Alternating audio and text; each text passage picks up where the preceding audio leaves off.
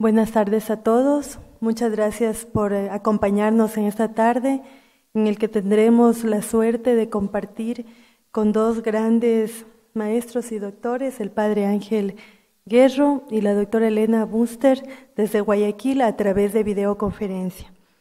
En esta tarde vamos a estar también enlazados con Quito a través del sistema de videoconferencias y Guayaquil.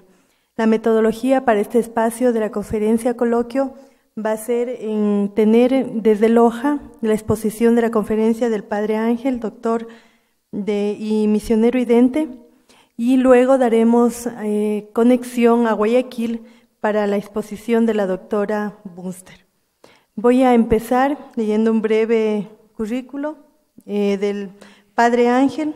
Él es doctor en filosofía por la Universidad Pontificia Angelicum de Roma, 1987, doctor en bioética por la Universidad de Europa, Pontificio Ateneo Regina Apostolorum, Roma, 2009. Licenciado en Derecho Canónico por la Universidad Pontificia Lateranense, Roma, 1990. Bachiller en Teología, San Damasco, Madrid, 1985. Entre sus nombramientos tenemos que ha sido y es profesor adjunto de la Facultad de Medicina de la Pontificia Universidad Católica de Chile hasta el 2011. Miembro del programa de estudios médicos humanísticos de la Pontificia Universidad Católica de Chile, profesor titular de la Facultad de Medicina de la Universidad Técnica Particular de Loja hasta la actualidad, director de la revista Ars Médica, revista de estudios médicos humanísticos de la Facultad de Medicina de la Pontificia Universidad Católica de Chile 1999 al 2011. Coordinador de la Comisión de Bioética para la Promoción de la Vida de la Sexta Región de Chile desde 2007 al 2011. Miembro de la Comisión Regional de Fomento de Humanización de la Atención en Salud del Ministerio de Salud de Chile.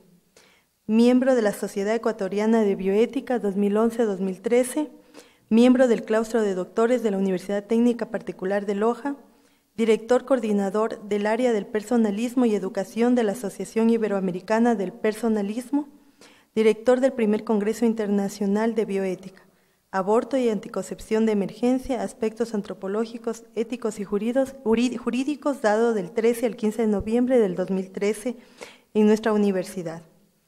Entre varias publicaciones y artículos que tiene, me voy a permitir citar por el tiempo solo algunos.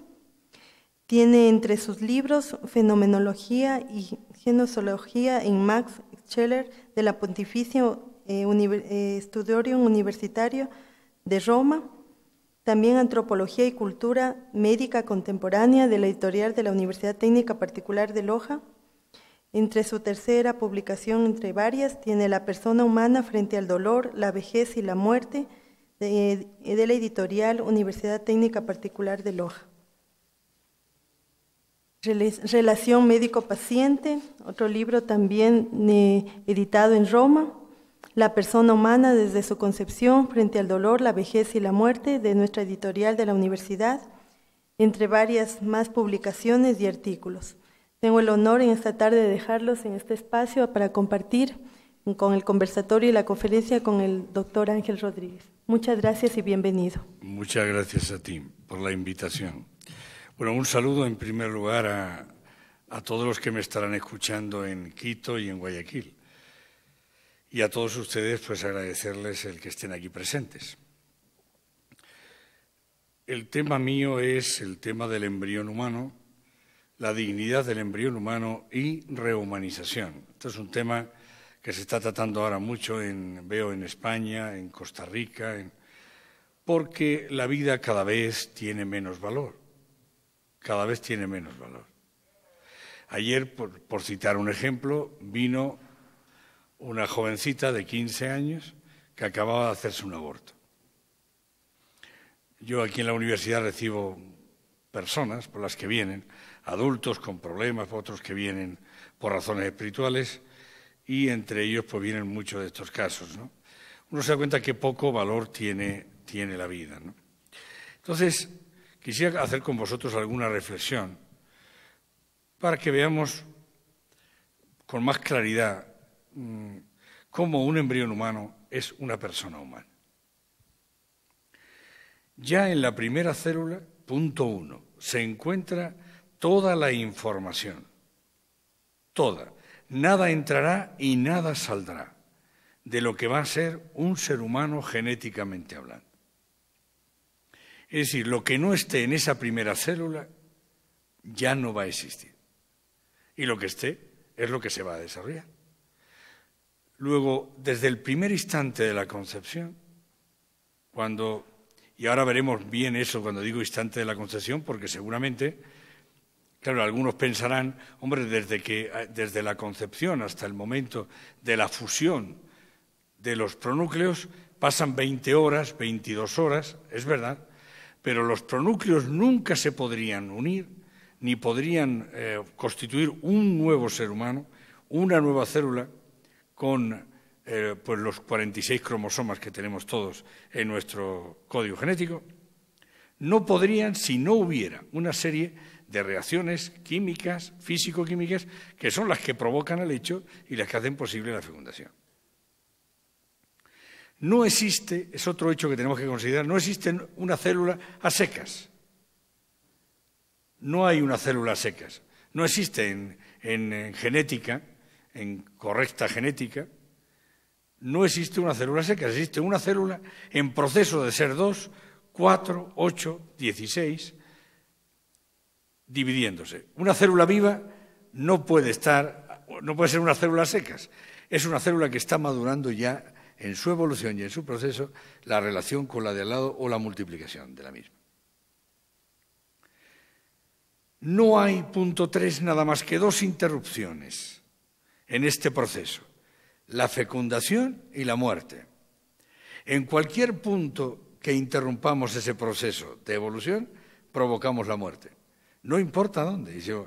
¿Dónde lo quiere usted provocar? Cuando ya el, adulto babea y tiene Alzheimer o tiene Parkinson o, o cuándo lo quiere usted interrumpir ese proceso. Ahí donde lo interrumpa, provoca la muerte.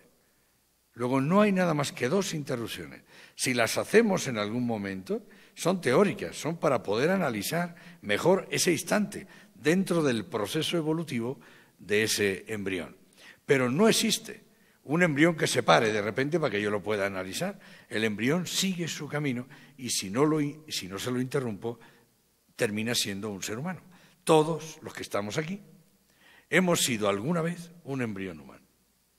Todos, sin excepción alguna.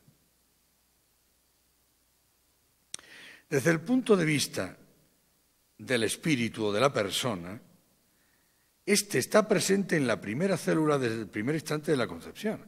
Lo mismo que genéticamente está ya presente todo el genoma y las necesidades del genoma, sin las cuales el genoma no iría adelante en el orden del ser, están también presentes las estructuras, los operadores, todas las virtudes, atributos y valores que se irán desarrollando en la medida que va creciendo ese ser humano.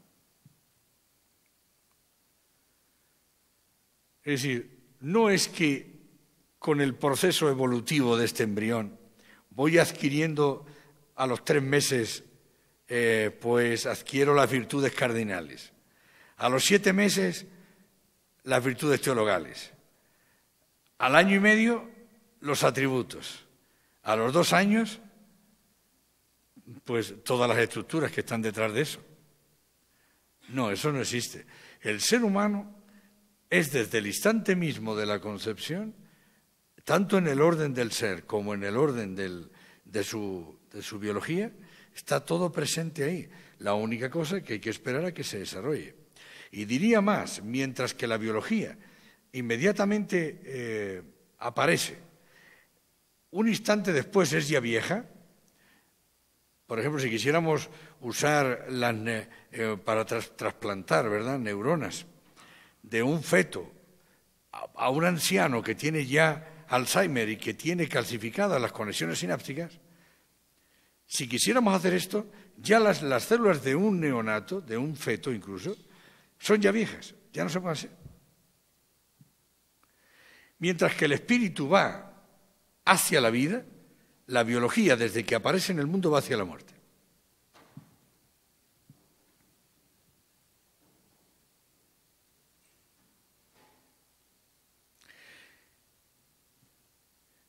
Alguno podría decir, la biología y la psicología se explican por evolución. ¿Están ustedes de acuerdo? Aquí hay psicólogas. ¿Están de acuerdo con eso? La biología humana y la psicología humana se explican en el ser humano por evolución. Es verdad, heredo muchas cosas psicológicamente, hay una parte que heredo, hay una, hay una herencia ahí. No todo mi psicología es heredada, porque hay una parte adquirida, y la parte adquirida es social, familiar, política, social, en fin. Eh, la parte adquirida depende de dónde he nacido. Hay personas que han nacido en familias neuróticas, ¿verdad? Y, ahí se, se, hablan todos unos a otros dándose gritos a la oreja, ¿no? Y entonces ellos van por la vida después dando gritos a todo el mundo pensando que esa sea la conducta de la vida, ¿no? Y eso es, es muy fácil de verlo, es muy fácil de entenderlo. Algunos de nosotros a lo mejor hasta desgraciadamente le ha tocado eso, ¿no? Que sus padres entre ellos hablaban a gritos, ¿no? Y entonces ahí todo el mundo gritaba. Bien, la psicología humana una parte es heredada y la otra parte adquirida tiene carácter familiar, social, político e incluso religioso. Hay mucha religiosidad que no es verdadera religiosidad.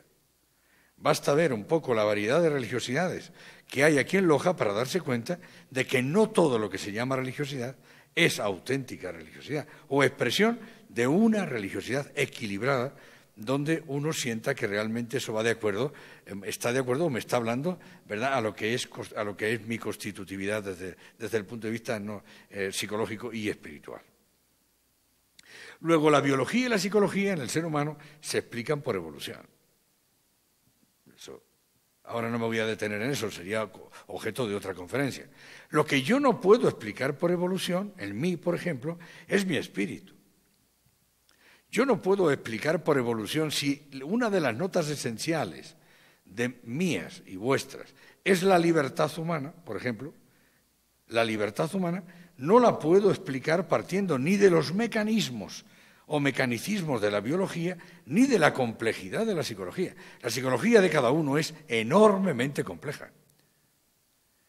Si la biología representa en el ser humano lo cuantificable, la psicología representa la complejidad. Solo la simplicidad está en el espíritu. Si no fuera por la simplicidad del espíritu, que es capaz de reducir lo complejo a sencillo, no podríamos pensar. Sería imposible el pensamiento, la ciencia y demás.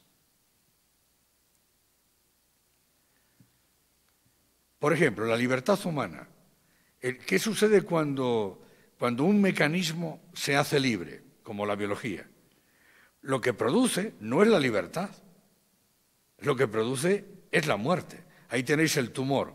Cuando en el contexto del genoma humano uno de esos genes viene dado la vuelta, por decirlo así, aparece una célula nueva, se hace libre el mecanismo, lo que produce no es la libertad, es la muerte. El tumor es una manifestación de cómo, partiendo de, la, de los mecanismos, los mecanismos de la biología, la libertad humana no se puede explicar. No hay modo de explicarlo. Pero no digo la libertad humana.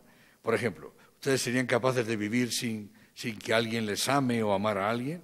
Yo no he visto nunca el amor caminar por la calle. ¿Ustedes lo han visto caminar por la calle? ¿Al amor? ¿Han visto la verdad? Eh, ¿La honestidad la han visto por ahí? cuando caminamos por la universidad la honestidad, la sinceridad, el no mentir. Por Dios que duele la mentira, sobre todo de pareja, ¿no? Si vengo a descubrir que ella, la que quiero, la que amo, está en una tercera cama o en una cuarta. Porque es que hay que ver los jóvenes aquí. Es que es curioso. El otro día hablaba con un grupo de jóvenes y casi todos tenían tres, tres mujeres, ¿no? Yo digo, ¿pero qué, qué está pasándonos aquí? Parecemos árabes, ¿no? El harén, necesito el harén, una no me basta, ¿no? Bueno, todo el mundo sabe lo que duele la mentira, ¿verdad? Cuando nos mienten, en ese campo que, es tan delicado para muchos de nosotros, ¿no? Pero la mentira no la he visto nunca caminar por la calle, ni la verdad tampoco, como el amor no la he visto nunca caminar por ahí. Ni... Hay cosas que son reales en nuestra vida, pero no son físicas. Se podría decir que todo lo físico es real, pero no todo lo real en nuestra vida es físico. Es metafísico vive en nosotros. Cuando uno dice yo, yo, yo, y esto creo que lo decís todo el día, yo tengo esto, yo quiero hacer esto, ese yo qué es en realidad. es carne, es sangre. Yo que trabajo en medicina y que me he pasado tantas horas en sala operatoria, pues he visto muchos cuerpos abiertos. Os puedo asegurar que no he visto en ningún, lugarcito de estos ni del bazo, ni del intestino, ni del estómago, ni del... No he visto por ahí el amor por ningún lado, ni tampoco la verdad. Y a nivel de neuronas tampoco he visto. He visto calcificaciones. He visto, por ejemplo, pues que yo como conexiones sinápticas en cantidad. Hay individuos que se las han cargado pues porque comen mucho cerdo, como pasa aquí, sin pasarlo por el veterinario. ¿no? Como sucede en Loja, que es típico esto de comerse el chancho sin llevarle ni un trozo de lengua y de eh, hígado de bazo o de, o de páncreas al veterinario. Y claro, pues entonces estamos con un montón, unos de tiquinosis y otros de eh. El otro día un joven presentó en el hospital una 20 calcificaciones en conexiones sinápticas por causa del cerdo. Claro, es que ustedes comen tanto chancho sin revisar que van a terminar siendo chanchitos. ¿no? Bien, la libertad, decíamos que el amor, la esperanza, los valores no son algo que podamos explicar partiendo de la evolución de nuestra carne.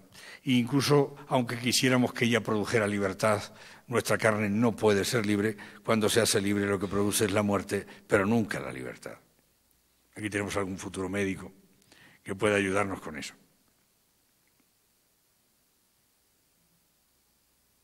Así que desde el punto de vista del espíritu, este está presente en la primera célula desde el primer instante de la concepción.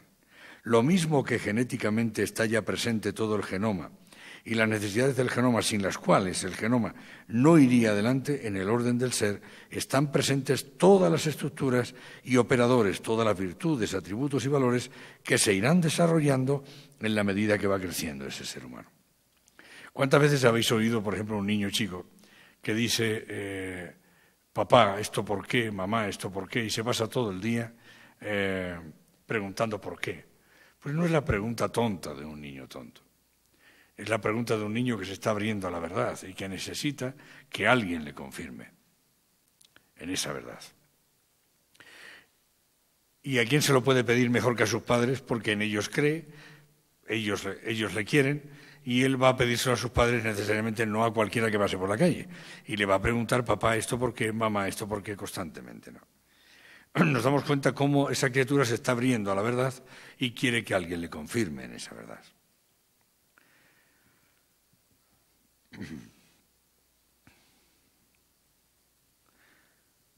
El ser humano es persona desde el primer instante de su concepción. Algunos dicen que en las primeras 20 horas después de la concepción, en las que todavía no se han unido los dos pronúcleos, los dos pronúcleos, no hay una vida nueva y por tanto no se es persona. Respuesta.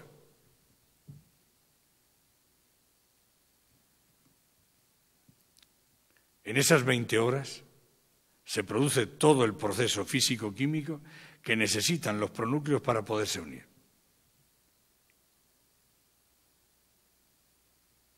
Si no hubiera ese proceso físico-químico anterior, sería imposible. Podemos tener un genoma, tenemos la experiencia de que la hormona, la, la T, la T3, la T4, TSH. Todas estas hormonas, algunas de ellas en particular, son las que de alguna manera logran que los, genes se puedan expresar. Sin esa hormona no sería posible. Ya puedo tener un genoma completo, si no tengo esa hormona no puedo absolutamente ir adelante, no hay evolución. Algunos dicen que en las primeras 20 horas después de la concepción, en las que todavía no se han unido esos pronúcleos, no hay vida, no hay vida nueva.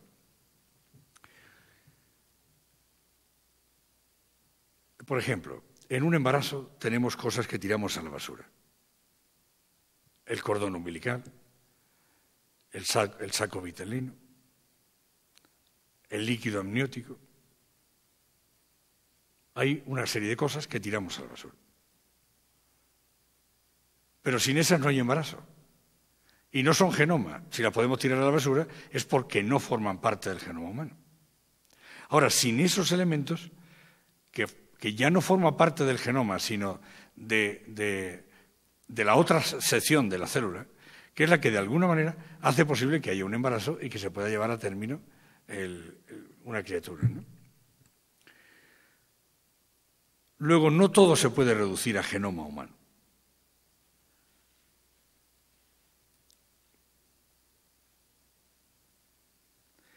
Todas las interacciones químicas que se producen en esas 20 horas, que son muchas, son las que hacen posible la constitución de la primera célula. Ahí se decide cuáles células formarán el genoma y cuáles formarán la placenta, el cordón umbilical, el líquido amniótico, los cuales después del parto se arrojan a la basura, pero sin los cuales no puede haber embarazo. Incluso si estos sufren alteraciones, la criatura puede morir.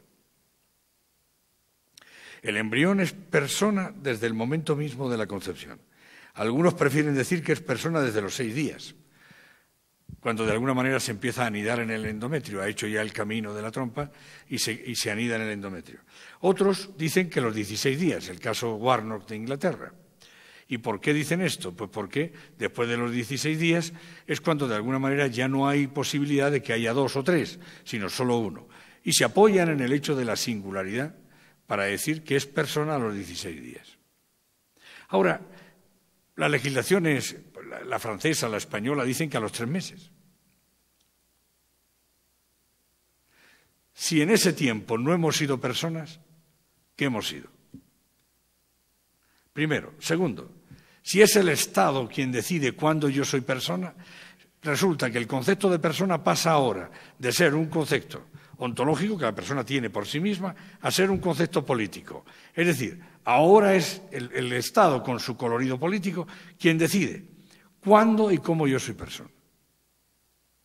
Pasamos de una definición ontológica de la persona, que es la única que puede garantizarnos los derechos humanos, pasamos a una concepción puramente política.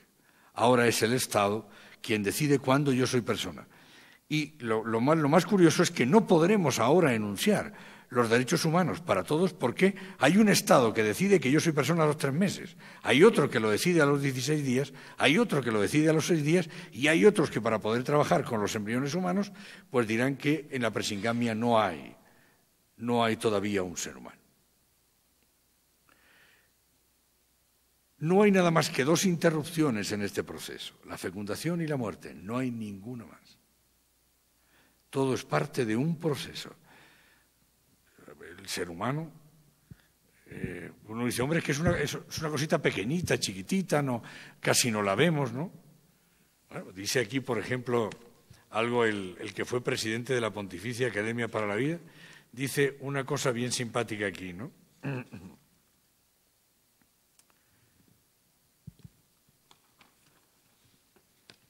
Dice Jérôme Lejeune, dice, sabemos con certeza que toda la información que definirá a un individuo, que le dictará no solo su desarrollo, sino también su conducta ulterior, todas esas características están escritas en la primera célula.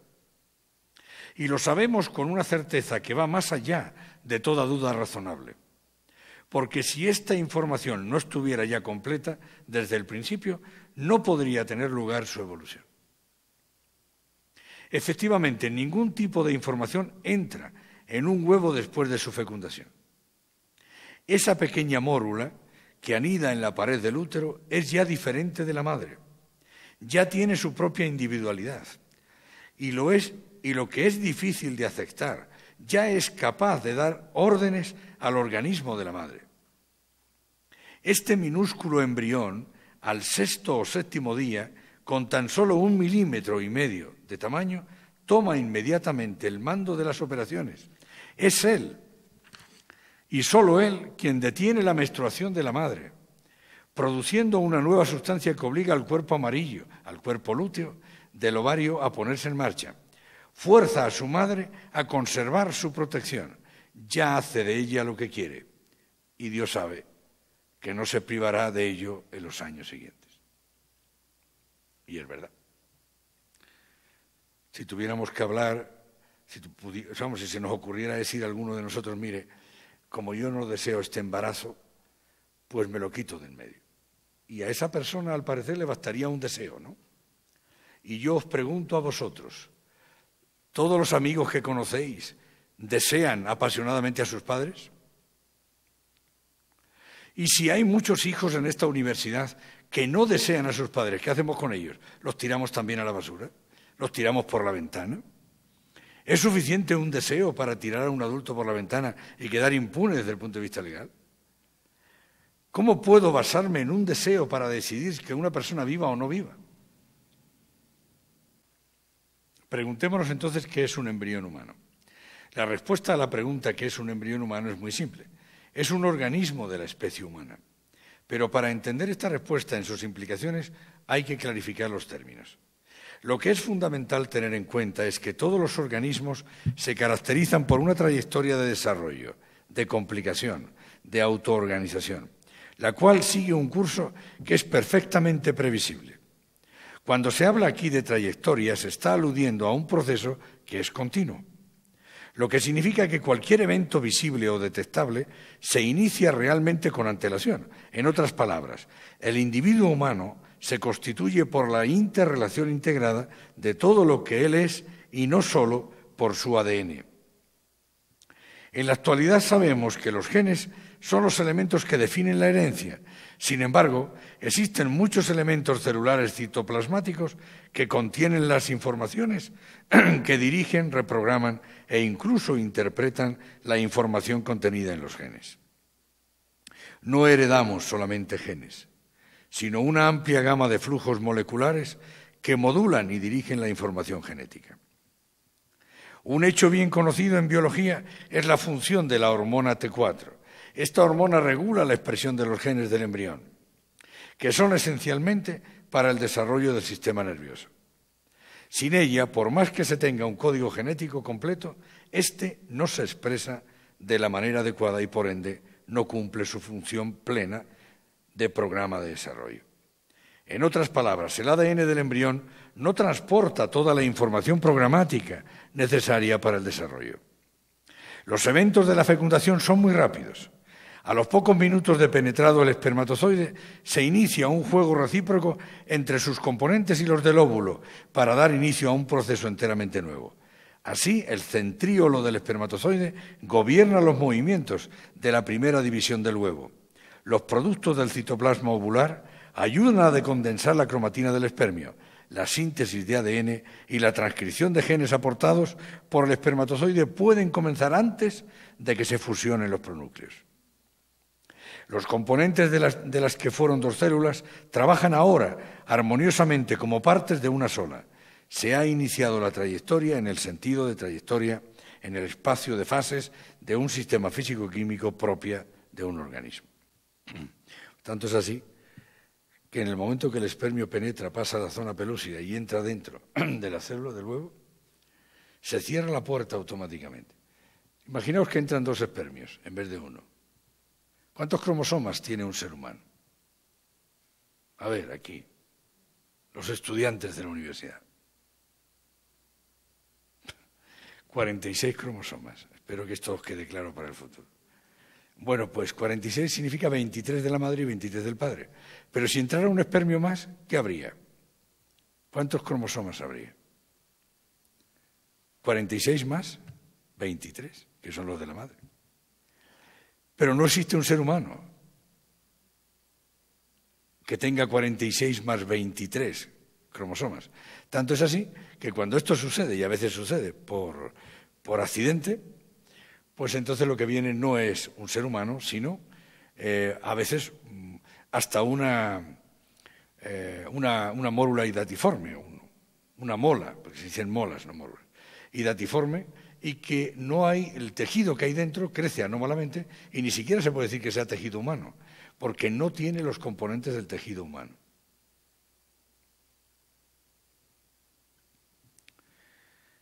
Eso es es un, mecanismo preciso, muy preciso. La penetración del espermio trae eventos inmediatos que bloquean la polispermia, reforzando así la condición de unidad discreta que tiene el cigoto. Son ellos los cambios electroquímicos en la membrana.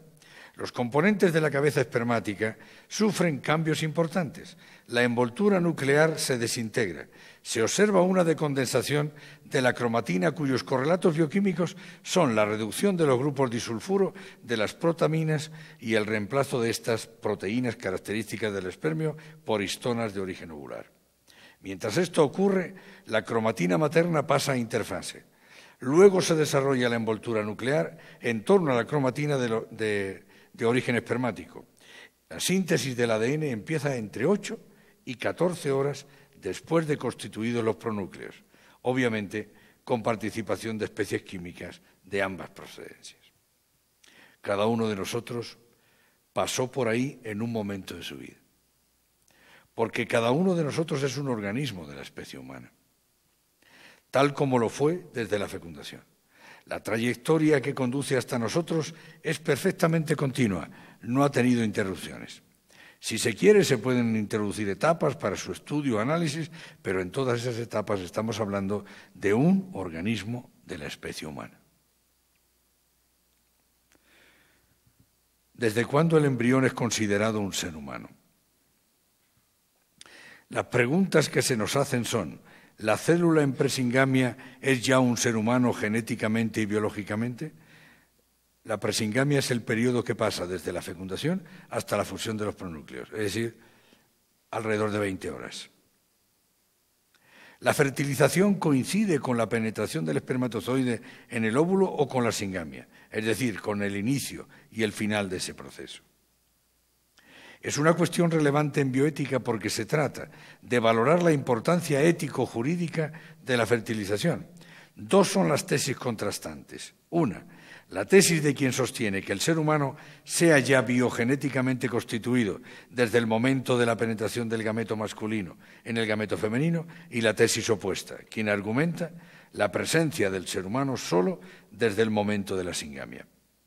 Esta última tesis representa ya un intento de postergación del inicio de la vida del ser humano respecto del momento inicial de la vida humana, o sea, el momento del inicio del proceso de la fertilización. En realidad, la singamia no constituye nada nuevo por lo que se refiere a la estructura genética. Sería solo un momento más del proceso ya iniciado anteriormente en la fecundación.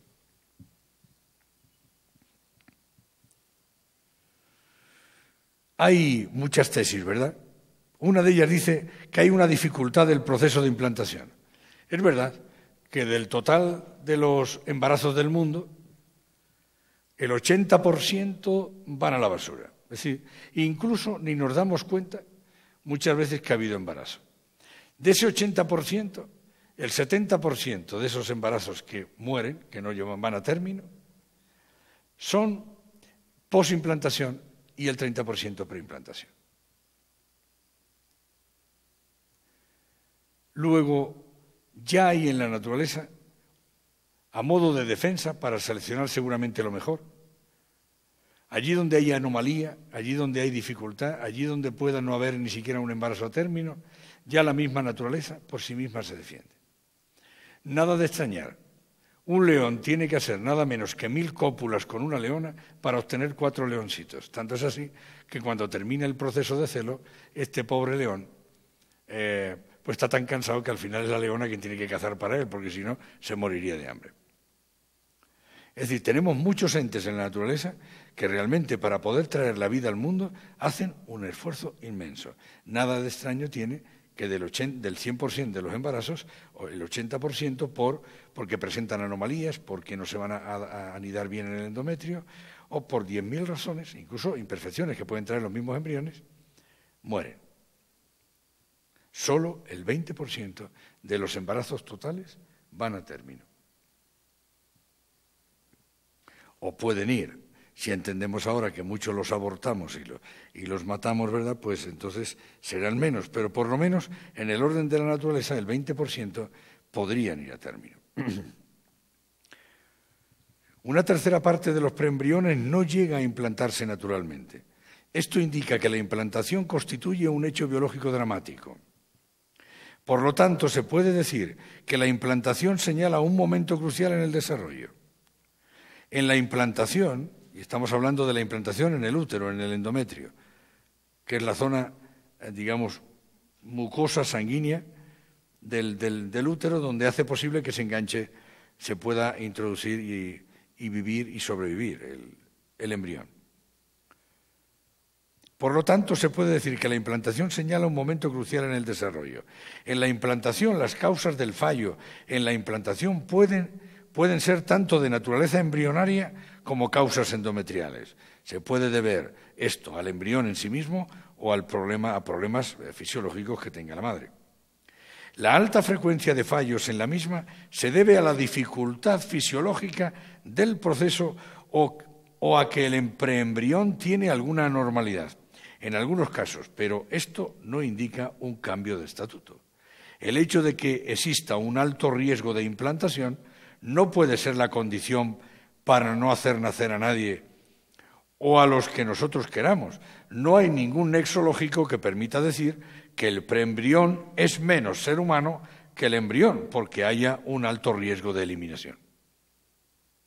En el pasado los recién nacidos tenían un alto riesgo de probabilidad de muerte. Muchísimos. Ahí tenéis todavía algunas naciones que tienen un índice muy alto de mortalidad de niños apenas nacidos. Hay otras que no. Chile, por ejemplo, ha logrado bajarlo muchísimo. Los Estados Unidos tienen un índice de mortalidad mayor que el que tiene Chile, por ejemplo. En el pasado, vuelvo a repetir, los recién nacidos tenían un alto riesgo de probabilidad de muerte y no por ello, vuelvo a decir, eran considerados menos seres humanos. El preembrión y el embrión son el mismo ser formado en el momento de la fecundación. La implantación solamente señala la suficiente estabilidad como para garantizar el desarrollo. Toda vida de cualquier ser viviente parte de una célula. La célula es la unidad de la vida, como no habría, no habría de ser así también en el ser humano. No se entiende por qué no. En cuanto a la dependencia, la dependencia genética, algunos han argumentado que el preembrión no puede crecer y desarrollarse por sí mismo. Solamente cuando el preembrión se implanta en el útero, después de pasados los 14 días desde la fecundación, comienza la vida humana individual y, por tanto, los preembriones humanos formados in vitro pueden ser usados para la investigación. Es ético, por ejemplo, que, por ejemplo, para aquellas personas, aquellos matrimonios que no tienen hijos, ahora ya no es ese tampoco el, caso, porque antes eh, era pues, matrimonios que no pueden tener hijos y entonces buscan la forma de hacer una fecundación in vitro para poder tener un hijo. Ahora están los gays, ¿verdad? O las, y, las lesbianas y tal, pues que, claro, de dos lesbianas no puede venir un hijo, eso está claro. Habrá que buscar, habrá que buscar un espermio por algún lado. Y dos gays, pues, pues bueno, pues tampoco. Está claro que tendrán que buscar un vientre en alquiler, aunque tengan, aunque tengan un espermio a disposición.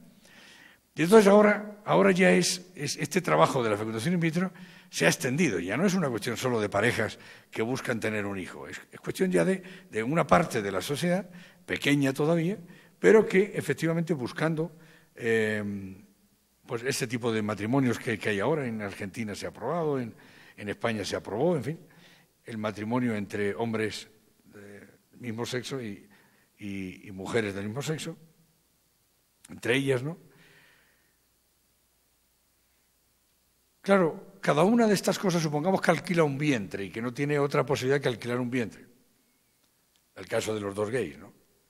Bueno, pues hay que buscar ahora, hay que buscar ahora espermios. A lo mejor los aportan ellos, pero a lo mejor van a una banca de espermios a recogerlos, ¿no? Y si realmente el espermio pues eh, tiene algún defecto, pues busquemos otro, ¿no? Y si el vientre de alquiler pues no es bueno tampoco, pues busquemos otro. Es decir, uno se da cuenta que hemos dado un salto donde la procreación era, era como la conquista de algún espermio que, ayudado por otros cientos, iban recorriendo un, un, camino hasta, de alguna manera, alcanzar un óvulo, y la naturaleza elegía siempre lo mejor, ¿cómo yo puedo elegir entre 200 millones de espermios que hay en una eyaculación? Puedo elegir el, mejor cuando elijo un grupito, que son 100 los que trabajo con ellos en el, en el vitro, para, para después fecundar, fecundar dos, o tres, dos o tres óvulos o cuatro o cinco. ¿Cómo puedo acertar yo a elegir el mejor espermio? Eso es imposible. Completamente imposible. La naturaleza me dará siempre, aunque en lugares pobres o en lugares donde... pero me dará siempre lo mejor. Yo no puedo, eh, ni, ni yo ni ustedes creo, en laboratorio, elegir lo mejor. Ya ha sucedido, y en Chile nos pasó, que tuvimos un caso de una niña de seis años que tenía leucemia. Y entonces fuimos a buscar la médula en el padre y en la madre. Esta niña era de fecundación in vitro. Y nos encontramos que el, el ADN del padre no estaba. Bueno, pues vamos a buscar qué ha pasado, ¿no?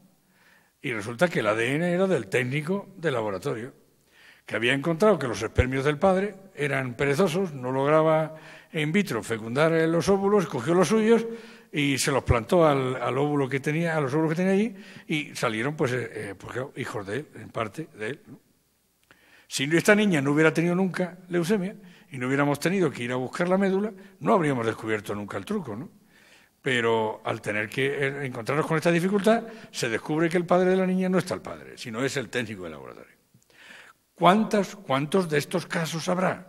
Muchísimos, porque cuesta en el ámbito privado, una fecundación in vitro, estamos entre 6.000 y 8.000 dólares. En lo público puede costar un poco menos, pero en lo privado están en esa cifra. ¿Qué técnico de laboratorio va a perder 8.000 dólares solo porque el espermio del marido no funciona? Coge el suyo y tira para adelante. Uno se da cuenta de cómo, cuando hemos pasado de la fecundación, de la búsqueda por la vía natural de un hijo, hemos pasado a la producción industrial. Y esta producción se nota en esto que es producción industrial y que, como en todo proceso industrial, siempre hay restos, ¿verdad?, que hay que tirar de alguna manera a la basura. Todo proceso industrial tiene restos. Y estos restos son embriones humanos, igual que los que hemos implantado en ese vientre, son exactamente igual que los tenemos ahora congelados, pero que van a tener un año de vida, y si al año mm, caducan, como todas las cosas caducan, hay que mandarlos a, experimentación o hay que tirarlos al cubo de la basura. Ya nos ha pasado muchas veces, ya ha salido en los periódicos. O sea, ¿esto es ético? Si en vez de introducir en ese vientre esos tres, de los cuales solo uno se han ido, hubiéramos introducido los tres o los cuatro o los cinco que hemos congelado, resulta que son hermanos todos, pues ahora serían otros los que viven y no ese que está viviendo. Es decir, yo estoy haciendo constantemente una elección de quién vive, quién no vive, y esto, claro, no cabe duda que. Sin duda que este hecho de la manipulación a los políticos les interesa mucho porque hemos pasado de una mm, eh, constitutividad ontológica de la persona a una constitutividad política.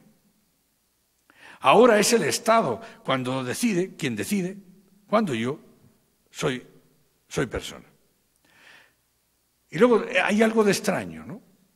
Resulta que algunos deciden que somos personas solo a los cinco días o a los 16 días, como en el caso de Inglaterra, pero después usan estos embriones que, producen, ¿verdad?, en in vitro, y los tienen que introducir entre los dos, tres y a veces cuatro días, resulta que los que congelo son, son seres humanos, son, están vivos, son, porque los pueden meter en otro vientre todavía al día siguiente.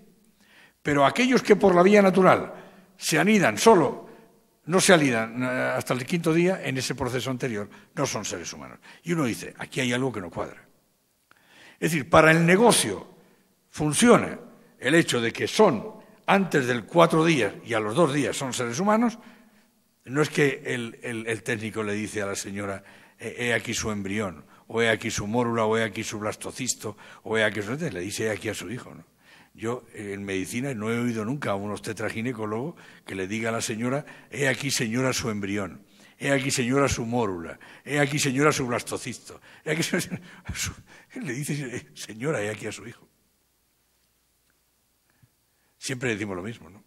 Es decir, ¿pero por qué lo decimos? Lo decimos convencidos todos, desde porque la vida empieza en la concepción y no empieza ni al quinto día, ni al sexto día, ni a los dieciséis, ni a los tres meses. Otra cosa son nuestros egoísmos, ¿no? Como cualquier ser vivo, el embrión necesita de la madre. Esto de que porque necesita de la madre y, es dependiente de la madre, pero ¿y quién ha dicho que apenas nacido no es dependiente de la madre? A ver, decidme, dejad a un niño recién nacido, dejadlo ahí, fuera, y veréis que se muere. Pero no solo, dejarlo solo a los 12 años y veréis que se muere también de hambre. No sabe qué hacer. Y hoy, así como están las cosas algunos a los 30 años, que no han salido todavía debajo de la falda de la madre, es probable que se mueran de hambre también si los dejan solos por ahí. Esto de la dependencia que dicen algunos para decir que no es todavía autónomo y por tanto no es un ser humano, eso es una barbaridad. El niño tiene todo lo que al anciano le falta.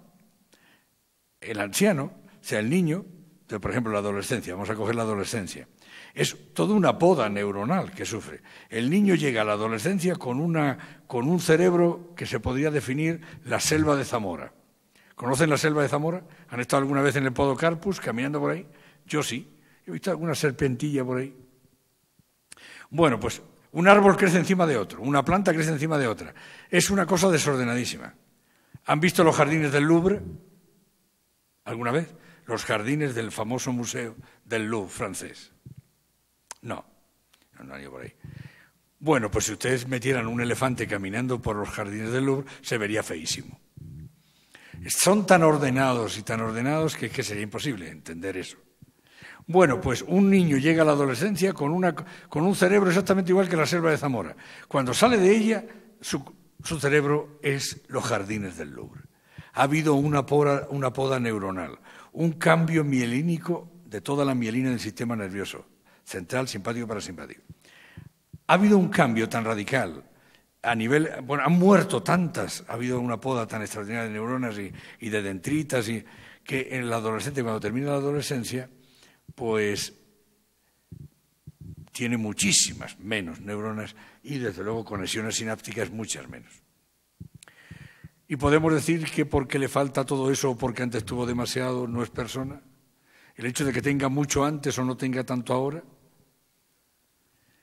Todavía no tendrá seguramente esa criatura todo el sistema desarrollado que necesita, por ejemplo, a nivel sexual. Vamos, vamos desarrollando toda una serie, en la medida que vamos avanzando, ¿verdad? Nuestro organismo se va desarrollando. Y, no terminamos nunca, prácticamente casi nunca terminamos de, de desarrollarnos en este sentido. Luego, todos somos dependientes, alimentación, hidratación, oxígeno, en todos los estadios de la vida humana. ¿Quién de nosotros resistiría sin la ropa adecuada o desnudo en las torres del Paine chilenas? Y por eso no somos menos hombres. Ya de adultos, aunque en modo anómalo, los seres humanos nos hacemos adictos y dependientes, tanto en el ámbito fisiológico como psicológico, de un sinfín de adicciones, que si no ejercemos con ellas una abnegación moral radical exigente, llegamos incluso a morir a mano de alguna de ellas. El alcohol, las drogas, el sexo, la glotonería, por decir algunas. Es decir, allí donde podríamos ser libres, nos convertimos en dependientes y esclavos de alguna adicción.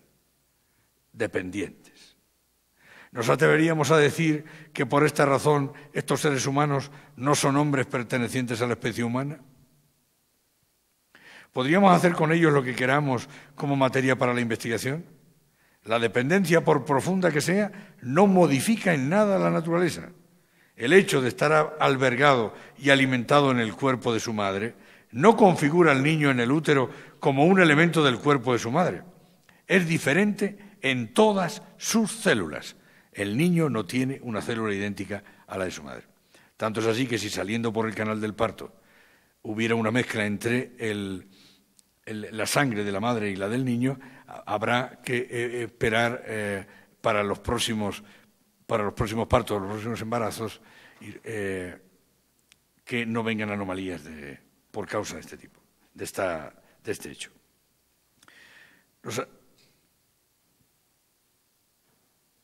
es diferente en todas sus células. Por otro lado, volviendo al hecho científico antes de la implantación, el útero sufre cambios controlados por hormonas progesteronas enviadas por el cuerpo lúteo desde los ovarios para preparar el endometrio y facilitar la implantación y el embrión desarrolla moléculas adhesivas para unirse al útero y proteinasas para invadir la pared del endometrio. Lo que esta evidencia científica refleja nos dice Rodríguez Junta, es la realidad del carácter relacional de la vida, en que una entidad nunca puede estar completamente aislada por sí misma. La relación fisiológica tan próxima que existe durante el desarrollo embriológico y fetal con la madre tiene paralelo con la relación que existe durante el periodo de lactación y a través de la comunicación en la niñez. La naturaleza de la dependencia varía a través del desarrollo, pero no hay vida sin interacción con otros seres. Es la célula como un todo la que posee suficiente constitución y, por tanto, sustantividad, y no el genoma por sí solo, como hablamos de lo que es, cuando hablamos anteriormente de lo que es sustancial para que se dé un ser humano. Termino con alguna frase por aquí, veo que quedan poquísimos minutos, ¿no? Y es algo que tiene que ver con, con el aspecto espiritual del embrión. La condición consciente del ser humano, nos dice Fernando Rielo, no acaece con el tiempo, ni con el desarrollo o madurez biológicas, ni con el cúmulo de experiencias. Antes bien la persona humana es un ser consciente, intelectivo, volitivo y libre desde el primer momento de su concepción. Otra cosa es el ejercicio experiencial de la conciencia y de la libertad con sus dos funciones de la inteligencia y de la voluntad en su complejidad psicosomática sometida al desarrollo y madurez en el tiempo biológico. El ser humano posee, no obstante, vivencia primordial de su conciencia y de todo lo que le constituye como persona desde el momento de su concepción. Y es esta vivencia primordial trascendente la que está presente en toda experiencia vivencial y experiencial en el desarrollo integral durante su vida en este mundo. No hay, el ser humano no tiene muchos yo a través de su vida. Uno para cuando era un embrión, otro yo para cuando era un niño o un adolescente, otro para cuando era un adulto y otro para cuando ya babea por causa del Parkinson o del Alzheimer. Existe un único yo que inicia en la concepción, instante en que Dios infunde el espíritu y deposita en él su acto absoluto y esto termina con la muerte. No hay ninguna otra interrupción. La primera experiencia entonces, con sentido absoluto, no es la de los sentidos, como dicen algunos, que al no tener los sentidos desarrollados todavía no es persona. Dios sabe cuándo tenemos los sentidos desarrollados, algunos de nosotros. La primera experiencia entonces con sentido absoluto no es la de los sentidos ni la del sistema nervioso, todavía no desarrollado, sino la experiencia de Dios. Esta experiencia le acompaña toda su vida, independientemente de cuánto le funcione bien o mal un sistema sensitivo o neurológico. Me paro aquí porque veo que el tiempo ya se, ya se nos acabó. Pues nada más. Agradecerle la paciencia. Muchas gracias, doctor Ángel Rodríguez Guerro. Es para nosotros un placer haber tenido este espacio, de haber compartido con usted en este primer paso de la conferencia coloquio y ahora vamos a conectarnos con Guayaquil a fin de recibir la segunda conferencia. Muchas gracias. Eh, queremos dar gracias por su asistencia a nuestra conferencia y antes de iniciar y dar paso a la conferencista, queremos reiterar nuestra misión y compromiso de crear espacios que nos inviten a reflexionar y defender el desarrollo armónico de la sociedad desde su base y devolver siempre los ojos y nuestras acciones hacia las enseñanzas de Cristo. A continuación, daremos inicio a la ponencia Formación integral de la sexualidad humana, centrada en el proyecto de vida del alumno, a cargo de la doctora Elizabeth Bunster de Díaz. La doctora Elizabeth Bunster de Díaz es de nacionalidad chilena, tiene su formación una licenciatura en trabajo social, diplomado en trabajo con familia, diplomado en gestión de calidad en políticas de protección social y es magíster en psicología social comunitaria por la Pontificia Universidad Católica de Chile. Entre las iniciativas emprendedoras que ha llevado adelante están el de haber sido cofundadora del movimiento anónimo por la vida en la ciudad de Concepción y en Santiago.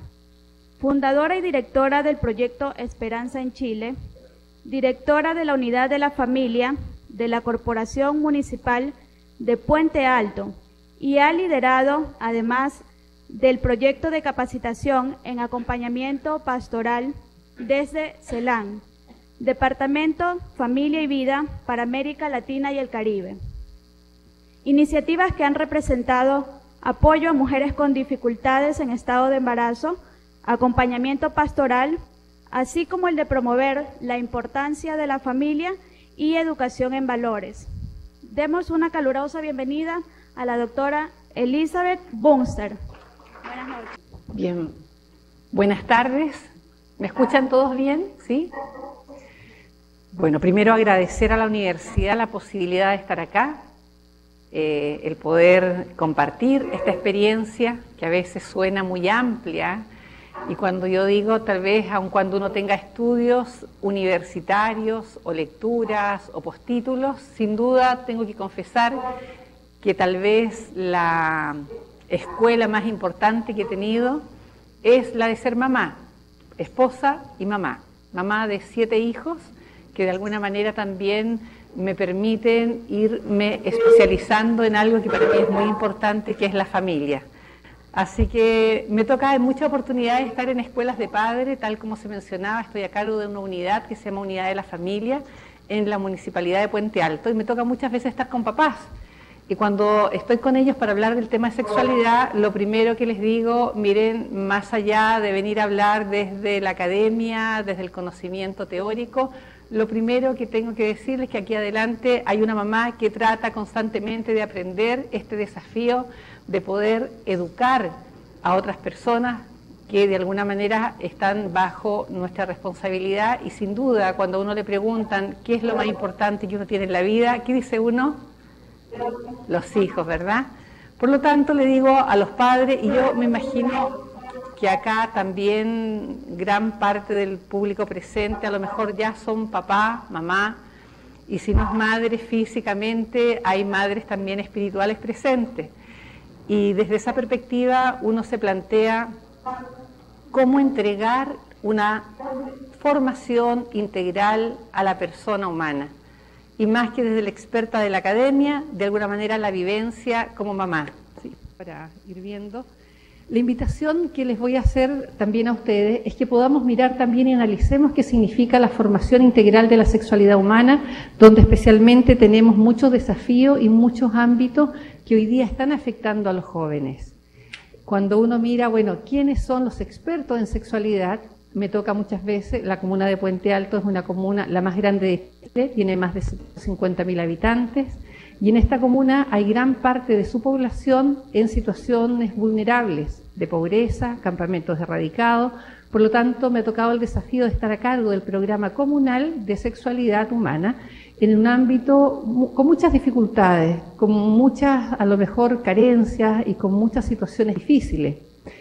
Y fíjense que las dificultades mayores que me ha tocado cuando recién partimos en el año 2001 con este desafío de iniciar la unidad de la familia para hacer escuelas de padre y el programa de formación de la sexualidad, eh, quiero colocar inmediatamente qué desafíos tuvimos.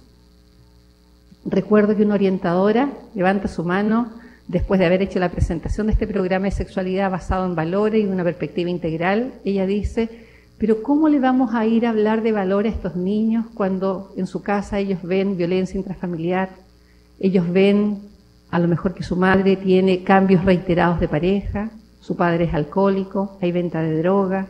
En el fondo ellos no ven valores. ¿Cómo vas tú ahí, vas a abrirles los ojos? Y creo que de verdad esa pregunta duele, duele, porque es como que hiciéramos una diferenciación y una discriminación de aquellas personas que han tenido una situación más difícil, no merecieran ser educadas también con los mismos valores que nosotros educaríamos a nuestros propios hijos. También me ha tocado escuchar a docentes en muchas oportunidades trabajando en las capacitaciones con ellos y en más de algún comentario me he quedado primero eh, sorprendida al decir, mira, si estas niñitas en definitiva todas se embarazan, mejor aquí deberíamos ser muy prácticos Llegan los 11, 12 años, llegó su menstruación y debiéramos en forma inmediata entregarle el anticonceptivo, el preservativo y nos olvidamos del problema. Yo primero pensaba cuando escuché a esa docente que era una broma, pero me di cuenta que no, que lo estaba diciendo en serio. Entonces, la lección que siempre invito a los docentes es a preguntarnos, ¿qué le daríamos nosotros a nuestros propios hijos? ¿Le diríamos a nuestra hija que tiene 15 años, mira hija, usa un anticonceptivo, no te preocupes y con eso yo me, al final no me voy a preocupar si estás embarazada, porque sé que no te vas a embarazar con el anticonceptivo, lo cual no es real tampoco, y nos vamos a quedar tranquilos pensando que esa hija va a iniciar una actividad sexual donde a lo mejor va a estar con una serie de enamorados, de parejas, ¿Cómo va a llegar ella después a construir su proyecto de vida, a definir quién es? ¿Cómo va a poder valorar su propia dignidad? Y es un poco esa reflexión a la cual también uno llama y uno plantearlo directamente. Lo que le sirve a nuestros hijos es lo mismo que le sirve a todo alumno y a toda persona, porque detrás de eso hay una dignidad. Por lo tanto, podemos también plantearnos, ah no, para pasar, por aquí, que es? podemos plantearnos como primero algunas, algunos cuestionamientos. Y dentro de esto, primero, ¿qué concepción tenemos del ser humano, de la persona? Porque eso es lo que nos va a dar el marco para poder hacer un programa integral de la sexualidad. Preguntarnos, ¿es posible educar, formar la sexualidad humana? ¿Cuál es el concepto de sexualidad humana que nosotros manejamos? ¿Qué entendemos por ello? ¿Cuál es el rol de la familia? ¿Quiénes son los educadores por esencia de los niños y de los jóvenes? Y aquí claramente también, ¿verdad? Iniciamos una pregunta muy importante. ¿Existe conciencia verdadera de la relevancia que tiene la familia en la formación de la persona? Y lo primero que uno se lo plantea es en relación a los docentes. Yo les contaba, yo soy mamá de siete hijos, ¿ya? y obviamente me ha tocado ya, ya los mayores eh, pasaron por la universidad, tengo dos más en la universidad, el colegio. La sensación que uno siente, a ver, ¿quiénes de aquí son mamá, papá, de los que están aquí presentes? Y a lo mejor hay varios les gracias, les habrá tocado en más de alguna oportunidad que lo llamaron del colegio, que el hijo está inquieto, que bajó las notas, eh, que hizo tal o cual cosa, que quebró un vidrio con la pelota. Y fíjense que una de las cosas que comencé a detectar en los papás de Puente Alto es que ellos llegaban agachados a recibir el reto, el enojo del profesor, ¿verdad? Mire, su hijo ha cometido tal situación, va a tener que estar en una situación condicional. Papá, usted tiene que preocuparse. ¿Qué le estoy diciendo yo al papá cuando le digo eso? Muy bien, usted está haciendo mal su pega. Yo lo estoy descalificando. Le estoy diciendo, ¿sabe qué? Aquí usted, su hijo está mal y usted está mal. Y en Puente Alto, que es un sector, como yo les comentaba, muchas veces con situaciones de mucha vulnerabilidad, delincuencia, droga, cuando el papá no va agachado, va casi armado. Y de hecho, literalmente ocurre así. Muchos profesores con temor al que al salir del colegio les vaya a llegar una tunda o una golpiza, ¿ya? o amenazas inclusive. Por lo tanto, el apoderado que no quiere recibir ese reto va inmediatamente al ataque con el profesor en el fondo, a pelear y no a encontrarle ninguna razón y se forman conflictos entre los centros de padres y los docentes. Entonces, tuve dos dificultades. Una, en cómo hacer mirar a los profesores que aquí el primer aliado de la educación es la familia. Primero, reconocerlos de que ellos tienen que ser los aliados no solamente por una cosa estratégica, sino que por esencia. Porque es la familia la primera educadora y de alguna manera cuando estoy con los papás yo les digo, Ustedes, papás, son los primeros expertos en sus hijos. Y si quieren hacer una buena educación de la sexualidad, son ustedes los primeros llamados a hacer educación de la sexualidad. Obviamente la señora me dice, no, usted me está engañando. ¿Para qué me dice eso? Mire, si yo no terminé ni siquiera la primaria.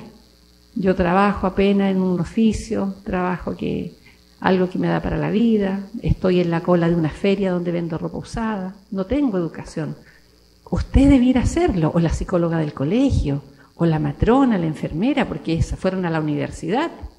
Digo, no, usted es la experta, señora. Pero ¿cómo le voy a decir a mi hija que no tenga relaciones sexuales si yo misma fui madre adolescente? Son muchas las preguntas, son muchos los desafíos. Y esas mismas preguntas que me hace esta mamá, la hace también el profesor. Pero ¿cómo vamos a dejar esto en estos papás que ni siquiera, verdad, saben ni leer ni escribir? Bueno, les voy a demostrar por qué los padres son los primeros educadores, les digo yo. A ver, señora, cuénteme usted, ¿quién es la persona que más conoce a su hijo?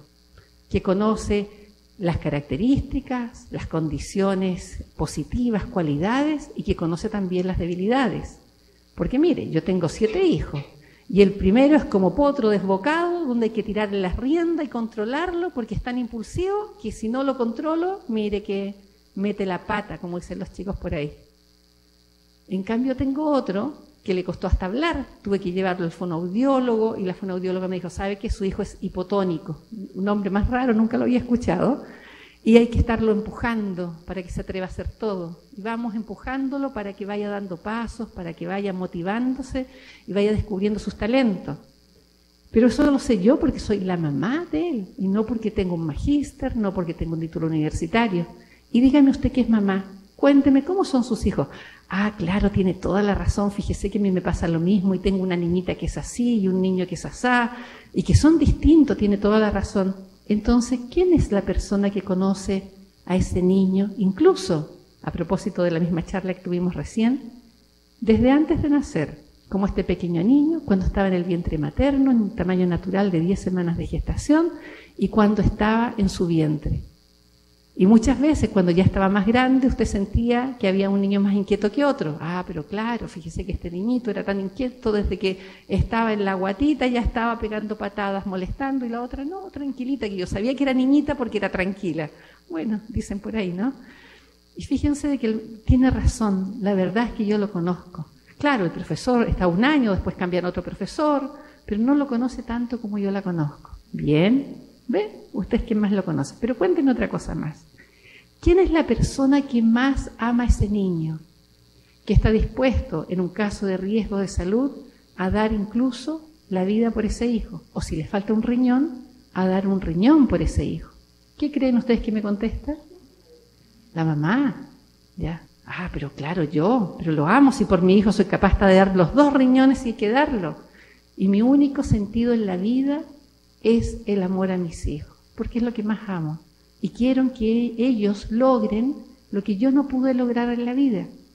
¿Ve? Y yo le aseguro algo, nadie ama y quiere más a sus hijos que usted. Tiene toda la razón.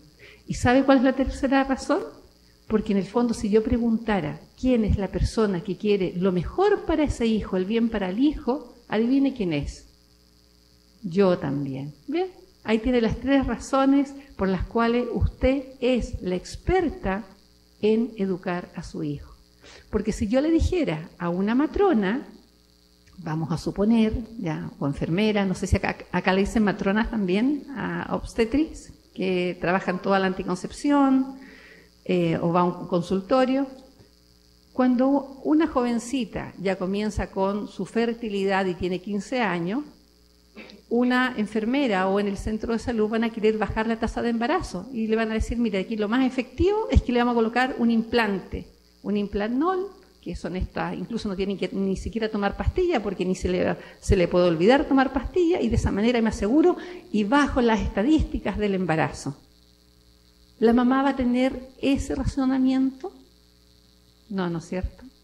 Porque a uno le interesa como mamá que esa hija que uno ama profundamente no solamente no se embarace, sino que la traten dignamente, con amor, con respeto y especialmente que puedan valorar en ella la dignidad de su ser mujer.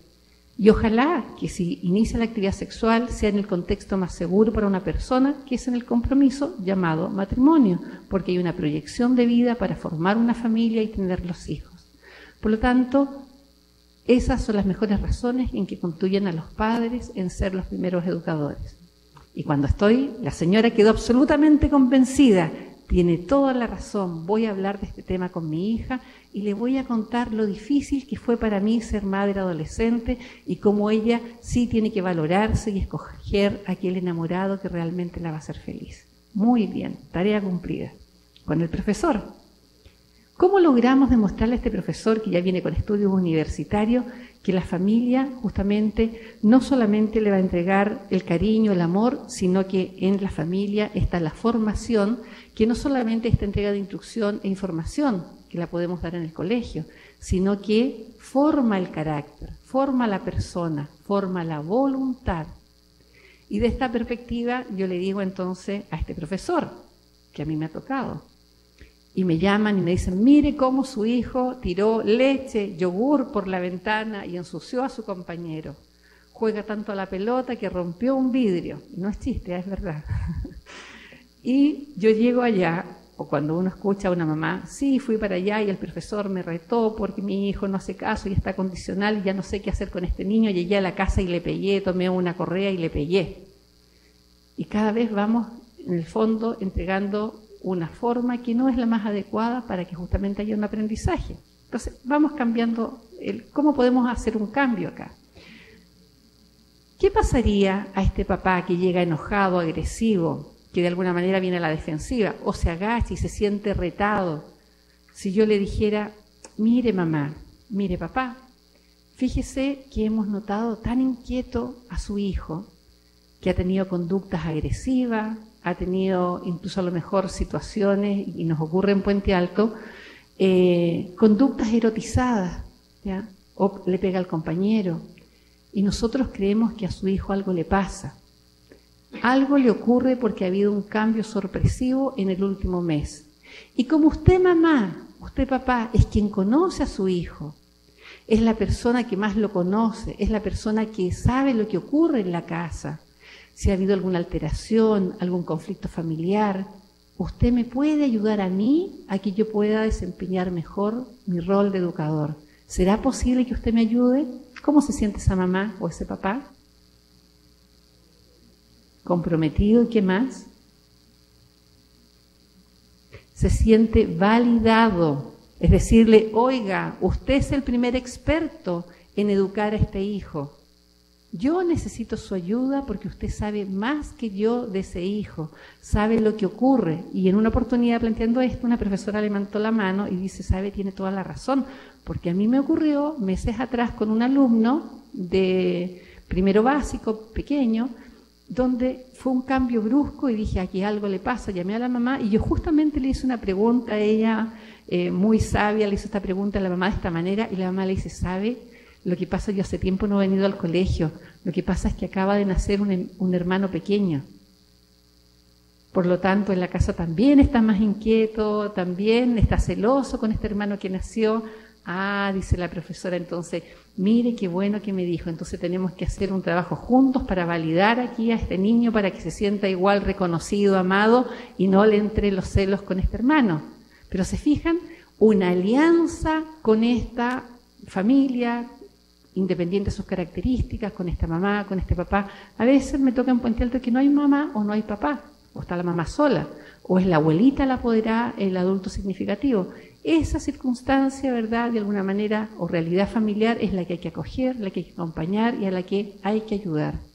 Por lo tanto, con esa premisa de que la familia es la primera educadora, para mí es muy importante que podamos mirar también y por qué es tan necesario ayudarla porque hoy día, y ustedes van a compartir conmigo también, que estamos con una sociedad en la cual no es fácil, no es fácil hoy día para los hijos, y hoy día también a un grupo de chiquillas le decía, ser hoy día adolescente también es ser héroe.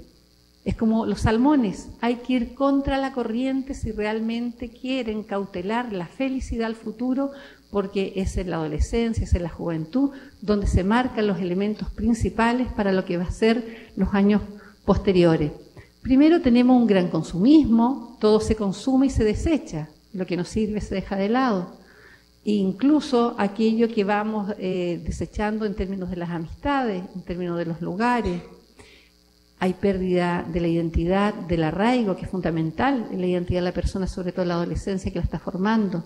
La concepción del hombre es un hombre light, hedonista, busca, busca el placer, es permisivo, relativista, cómodo, materialista, no comprometido. Acá también hay algunos Eh, hay un lenguaje en Guayaquil que yo descubriendo en Chile, los jóvenes hablan de pololear al noviazgo o al tener el enamorado o enamorada.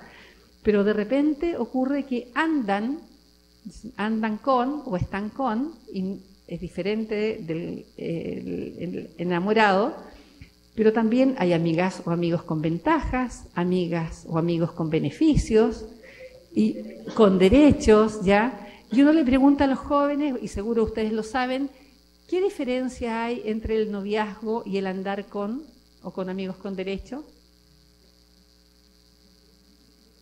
¿Cuál es la diferencia? Es más formal, hay fidelidad, porque hay compromiso. Y justamente nos encontramos hoy en día donde hay un adolescente, un joven no comprometido, pero nosotros los adultos somos los que hemos dejado el mundo actual. Tenemos que hacernos cargo, el mundo que le estamos dejando a los jóvenes y no decir, miren, esta juventud está tan perdida. No, perdón, nosotros los adultos hemos dejado pasar la pornografía, hemos dejado pasar una serie de situaciones que están afectando hoy día directamente a nuestros jóvenes. Por lo tanto, estamos en deuda con ellos no es feliz, nada lo satisface, y aquí estoy hablando no solo de los adolescentes, estoy hablando del hombre hoy día en general, ¿ya? Todo, ¿verdad? Eh, hay siempre nuevos requerimientos. Un hombre o una persona, una mujer informado, pero no formado, no educado, es individualista, preocupado por el cuerpo, la actitud laissez-faire, dejar hacer, a tal punto la preocupación por el cuerpo que pasa a ser lo primero, ¿verdad? El confort se convierte en una filosofía y meta, y meta máxima, y la felicidad radica en el bienestar, el dinero, el poder, la fama, los placeres, la belleza y la juventud. Ese es el estándar que le estamos dando hoy día, las muestras, los modelos, y esto no solamente y en los distintos ámbitos, porque esto también entra por la televisión, por los medios de comunicación, que están acceso incluso a los sectores rurales. La educación actual reproduce este modelo, por lo tanto sí nos tiene que preocupar de qué manera estamos trabajando con la familia en la formación integral de la sexualidad. Entonces la mamá y el papá se va a preocupar del tener. ¿Qué necesita mi hijo o mi hija? Hoy día nos contaba una religiosa en un colegio que estuvimos dando en la mañana una charla donde una apoderada venía contenta y le hablaba de su hija, sí, estoy tan contenta porque mire, le he comprado un plasma precioso a mi hija y se lo puse en el dormitorio. Y la hermana me decía, ahora entendemos por qué la niña ya a las 11 de la mañana en la clase se queda dormida, porque en su dormitorio nadie tiene control ni hasta qué hora ve televisión, ni qué cosas ve. Por lo tanto, se le da todo aquello, pero en definitiva no se está evaluando si le sirve o no le sirve. El bienestar continuo, la comodidad, la ausencia de esfuerzo ah, no, es que mi hijo no se puede sacar mala nota, está en kinder, está en primero, y yo le ayudo a hacer su trabajo, y no solo eso, le hago su trabajo, ¿ya? Es que no puede ir a una prueba, le hago una comunicación que no va a la prueba. No es su tarea, se la hago yo, de manera de que pueda tener una buena nota. ¿Qué estamos educando desde la familia de esa manera? El exitismo y la falta de educación también hacia la frustración. Mire, yo prefiero sáquese un rojo, usted no hizo la tarea, usted se sacará la mala nota. Porque hay una enseñanza, no es la nota lo que vale, sino que el aprendizaje, fíjense lo que voy a decir porque esto es lo clave cuando hablamos de la familia y la formación del carácter. En definitiva, tiene que ser, en términos del aprendizaje, que el joven, que el niño desde pequeño, sea capaz de asumir las consecuencias de sus decisiones la consecuencia de sus actos. Y así voy a tener un adolescente que si dejó embarazada a la novia, sea capaz de responsabilizarse, ¿sí? Y no esté buscando un aborto, sino que sea capaz de hacerse cargo de ese hijo que viene. Por lo tanto, vamos mirando también qué es lo que está conspirando en esta formación de la sexualidad. Se forma la castidad, fíjense, en esta formación del esfuerzo. Aquí tenemos ausencia del esfuerzo, la comodidad. Es que mamá quiero comerme el postre antes de la comida, ¿por qué no me das el postre y hago pataleta y me como un helado? Pero es que vamos a almorzar. Bueno, ya como no lo quiero escuchar más gritar, comas el helado. Nos va a pasar entonces que el niño va a querer, ¿verdad?, llegar con la novia a tener una relación antes de casarse, porque está acostumbrado a no esperar. Por lo tanto, también estamos formando en la castidad, que es el dominio de sí mismo. Muchos entienden o creen que la castidad es no tener relaciones sexuales. No, la definición en esencia es el dominio de sí mismo. Y también existe la castidad matrimonial. No significa no tener relaciones. Tenemos el individualismo, la falta de solidaridad, la falta de responsabilidad. Por lo tanto, la educación integral de la sexualidad, si miramos con ese diagnóstico, aborda todas las dimensiones, que es donde una familia o la perspectiva de familia va a mirar, y por lo tanto la sexualidad constituye una, una propiedad inherente a la persona que conlleva toda su riqueza, su cuerpo, su sentimiento y su espíritu, que no admite separación para su pleno desarrollo. Yo no hablo de sexualidad cuando solamente estoy haciendo referencia a la parte física. Es solamente la punta de esta estrella. Esta estrella es la persona. Todos somos una estrella. Más todavía, todos somos un sueño frente a Dios. Y si nosotros logramos hacer que nuestros hijos o ayudamos a los padres de familia a que ellos ayuden a sus hijos a descubrir cuál es el sueño que Dios tiene para su vida, vamos a estar hablando de su ideal personal, vamos a estar hablando de su proyecto de vida.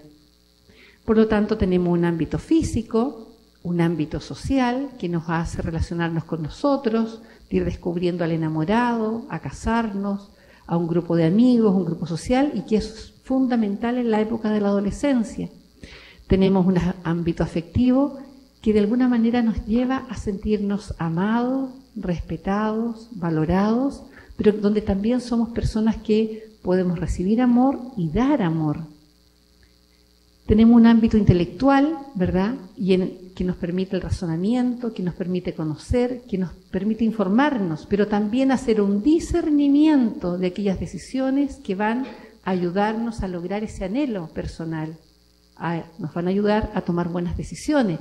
Y sin duda hay un ámbito espiritual trascendente que nos ayuda a mirar que este proyecto de vida va más allá de cumplir tareas y desarrollarnos como hombre, como mujeres.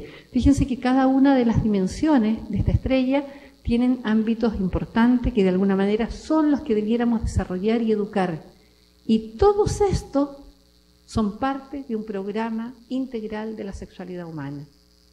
Por lo tanto, cuando a mí me fueron a decir en mi época menos de adolescencia, a los 14 años, y entró una enfermera a decirme, mire, le voy a hacer una clase de sexualidad, y este es el órgano reproductivo masculino, y este es el órgano reproductivo femenino, y esto es solo anticonceptivo, eso ni siquiera era ni la décima parte de lo que es un programa de sexualidad.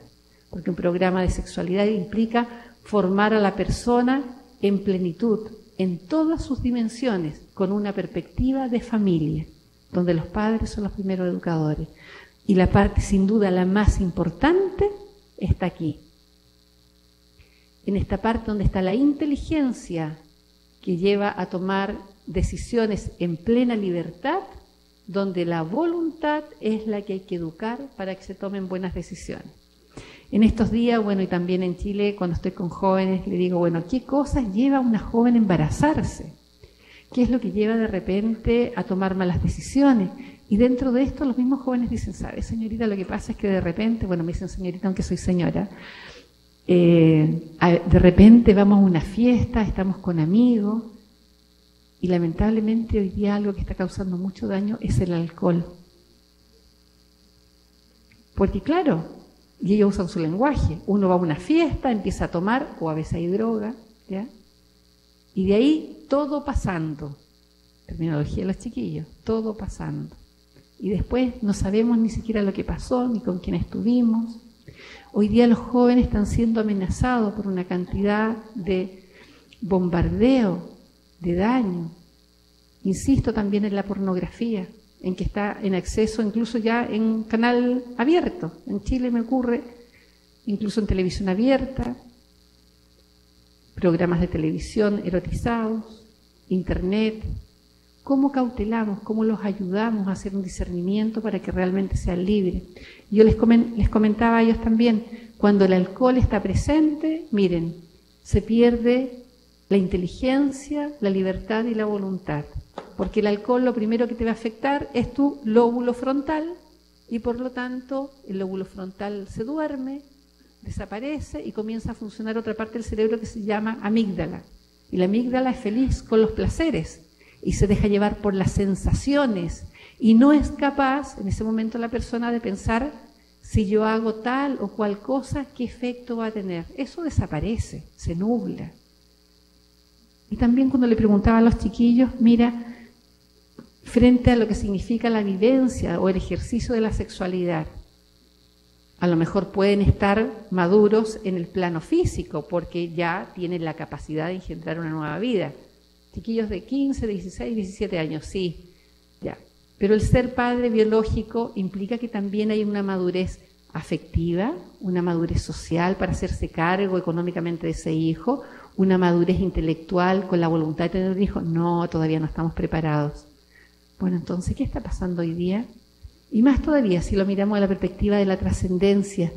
Fíjense que yo creo que, y se los planteaba, tal vez una de las misiones más hermosas, y lo decía un santo chileno, San Alberto Hurtado, él decía, la misión más noble, más sublime de la pareja humana, refiriéndose al matrimonio, es la de llamar a otras personas a la vida. Y no solo a esta vida, a la vida eterna. El ser co-creadores, el tener la capacidad de esta fertilidad que me permite ser madre, ser padre, es el poder mayor que una persona puede tener. Es darle la vida a un ser humano. Yo he sido muy tentada, he tenido siete hijos y por la gracia de Dios. Pero fíjense que la conciencia de llamar a la vida a un ser humano, y en particular cuando uno sabe que está en el periodo fértil, por ejemplo, cuando uno usa métodos naturales, es sin duda una de las mayores emociones que uno puede sentir, cómo con el esposo puede vivenciar esta comunión tan perfecta, no solo física, sino que también emocional, espiritual, pero también trascendente, porque Dios se hace parte de ese acto. Y es así de sublime. Y eso es un gran poder.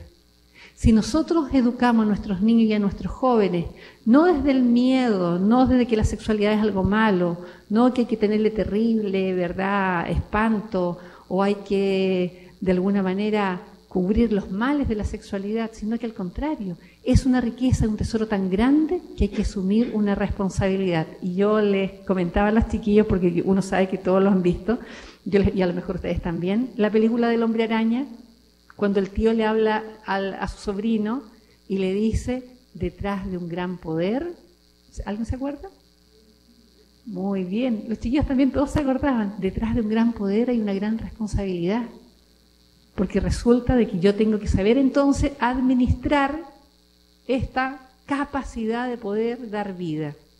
Y generalmente en nuestros países donde hay mucho machismo, se tiende a dar esta responsabilidad más a la mujer.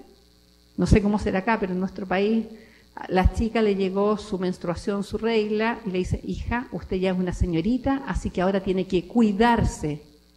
La niñita nunca sabe cuidarse de qué porque no le dicen nada tampoco. Queda como mirando para el lado. Lo único que sabe es que ahora ya no le dan permiso que le daban antes. Y al niñito, al jovencito, el papá le dice, mi hijo, usted es un hijo de tigre, Así que salga a conquistar el mundo, ¿ya? Y vamos dándole permiso. Y si este niño no está con una enamorada, ya teniendo 17, 18 años, este papá se comienza a preocupar. Entonces empieza casi a buscarle novia, porque qué raro que no, ¿verdad?, vaya a tener por ahí alguna enamorada. Eso es parte del machismo. Y una de las cosas que nosotros hemos tratado para revertir eso, ocupemos la biología. Entonces yo le pregunto a los chicos, a ver, Veamos si ustedes están preparados para ser papá y si hay conciencia de lo que eso significa. ¿Ustedes saben cuánto dura un óvulo con la capacidad de engendrar una nueva vida?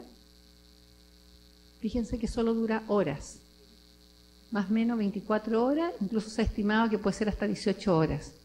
Y desde esa perspectiva hay una conciencia de que además de la duración de este óvulo, hay también una mucosidad que permite a la mujer la fertilidad para poder resguardar estos espermatozoides, incluso que pueden estar hasta 3, 4 y hasta 5 días antes de la ovulación, muy bien alimentados, cómodos, ¿verdad? En regio estado, de manera que cuando el óvulo salga hasta el cuarto o quinto día, pueda provocarse la fecundación. Por lo tanto, las mujeres, la fertilidad de la mujer puede durar solo algunos días, según el patrón de fertilidad de la mujer, que puede ser 7, 8, 9 días, más menos, pero el resto de los días las mujeres no, son potencial o no somos potencialmente madres. Y ahí es donde yo le pregunto a los varones, le digo a los chiquillos, chiquillos, ¿cuántos días del mes ustedes varones son fértiles? Aprovechemos aquí los varones presentes. ¿Cuántos días del mes los varones son fértiles? Todos los días y hasta largo aliento de años, ¿verdad? Fíjense, varones, entonces les digo yo a los chiquillos, que ustedes cada vez que tienen una relación sexual siempre son potencialmente padres. Los jóvenes miran con una cara sorpresa como asumiendo un peso porque nunca lo he pensado antes. Bueno, entonces cada vez que pase eso, ténganlo presente porque puede ahí nacer un hijo. Y necesitamos cuánto espermatozoide para lograr este milagro de la vida? Un solo espermatozoide. Y les hago la segunda pregunta, yo no contenta en dejarlos con esa impresión, y les digo, bueno, jóvenes, ¿cuántos espermatozoides se expulsan en una relación sexual que llegan y van a buscar al óvulo? ¿Ustedes saben cuántos espermatozoides son? Sí, los chicos igual me dicen millones, pero yo digo, mire, entre 2 millones y 4 millones, que es el doble, hay harta diferencia. ¿Cuántos millones serán?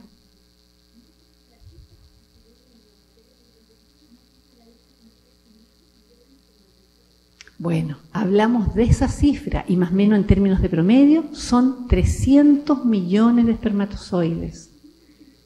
Y eso, uff, ahí los chicos se terminan ya un poco agachados como diciendo, Dios mío, yo no sabía que tenía un poder tan grande. Bueno, eso es, pero también nos demuestra otra cosa, que todos, incluso todos los aquí presentes, somos un milagro de la vida, porque tuvimos la probabilidad de ser nosotros uno entre 300 millones. Si hubiese sido el espermatozoide del lado el que fecunda el óvulo de nuestra madre, ya no seríamos nosotros. Por lo tanto, sin duda, Dios tiene un sueño para nosotros y tiene una misión para nosotros. Entonces, desde esa perspectiva, es muy importante recordar, y parece ya debo estar como en el tiempo,